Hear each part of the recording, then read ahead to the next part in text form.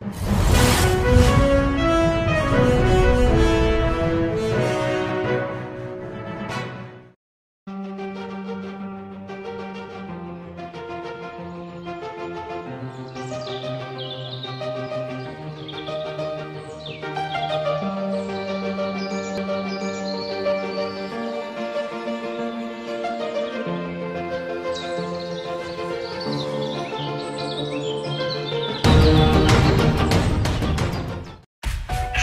Hola amigas, ¿cómo están? Me da mucha, mucha alegría verlas. ¿Cómo se encuentran? ¿Cómo estás tu amiguita Sol?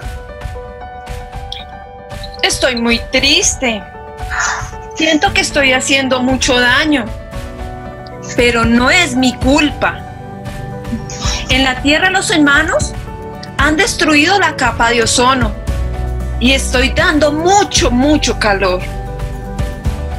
Mis amigos los animales y la naturaleza están sufriendo.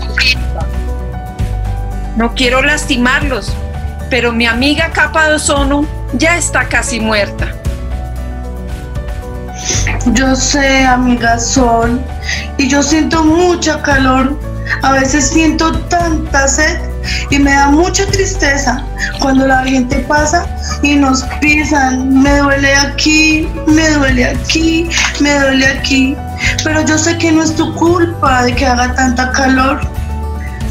¿Y tú cómo estás, amiga Agua? ¿Cómo te encuentras? Yo, yo me siento muy mal.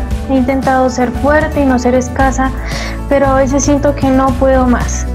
Los animalitos, las plantas, los bosques y los humanos están siendo afectados porque me estoy secando y contaminando todita. Humanos, por favor, no me desperdicien, por favor, no me dejen morir. Yo quiero seguir dándole vida a todos. Amiga, por favor, no te mueras. Sin ti, mis amigas y yo, ¿qué vamos a hacer? No vamos a poder vivir. Amigas, tengo una idea. ¿Y si nos comunicamos con los humanos? Esos que nos desperdician y nos maltratan tanto y les pegamos un buen susto. A mí me parece, ¿Qué les una parece? excelente- me parece una excelente idea. Yo también estoy de acuerdo. Además que en este momento ya estamos en emergencia. ¡Uy, sí!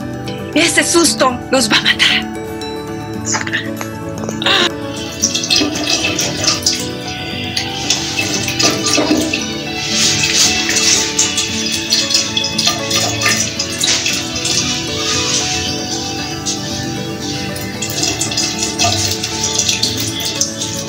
Señora, por favor no me desperdicie así. Hay humanos, animales y bosques muriendo por personas que me desperdician y contaminan. Le pido que cierre la llave mientras se cepilla o me recoge en un vasito. Que no se demore tanto al bañarse. Que recicle el agua de la lavadora para bajar la cisterna o trapear. Se lo pido, se lo suplico, por favor. Perdón, perdón, perdón, señora Agua. Le prometo que yo no la vuelvo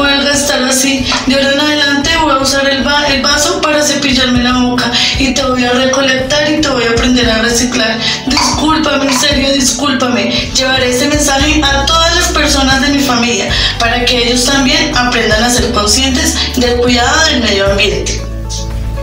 ¡Ay! ¡Qué susto el que les pegaron! Ahora familia, los vamos a invitar. A que escuchen esta linda historia, un cuento maravilloso que seguro cambiará la mente de muchas personas.